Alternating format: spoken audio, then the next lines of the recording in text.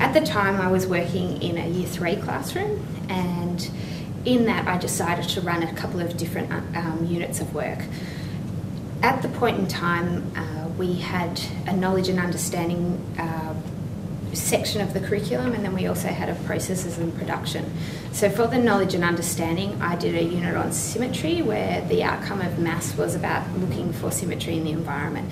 They went out on either digital cameras or iPads and took photos around the school of things that they thought were symmetrical, and then they came back and they had to justify or prove why they were symmetrical using either uh, crop tools in um, PowerPoint or Word uh, to manipulate them and move them around, or alternatively, on explain everything on the iPads where they had to actually uh, prove it, I guess, using their, um, I guess, their language.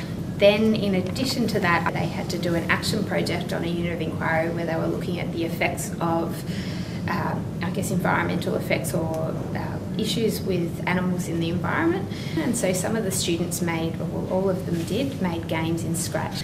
Um, so basically, after that, um, I wrote some reflections, and I think it was also reflections about my teaching because you don't always get things right first time, and you have to trial things and practice them again to make sure that you're, I guess, constantly learning and improving on your own teaching.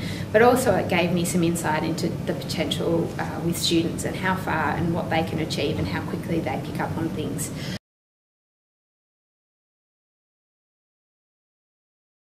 Um, what we decided was a dedicated unit of work at year eight, which would run for a semester.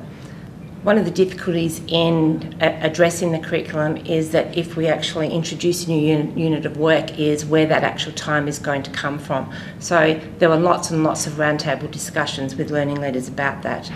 Um, I think one of the challenges of um, addressing the curriculum is you know the philosophy that you're actually going to use in the activities you're you're going to get the students to perform. I think from our point of view, we want to use much more of a constructivist approach where um, that you know very hands-on, uh, real-life type learning to get the students really motivated and involved. What we're doing at the moment is uh, to, I guess, test some of the activities that we've looking at in the unit of work. Is we've got a coding club running uh, for year seven to nine. We've also got dedicated days in a year immersion program where we're running Minecraft activities and also coding activities. With the addressing the year 9 and 10 standards, what we'll probably be doing is offering um, those students at year 10 the option of completing a, a Unit 1 VCE computing or uh, the Unit 2 VCE computing.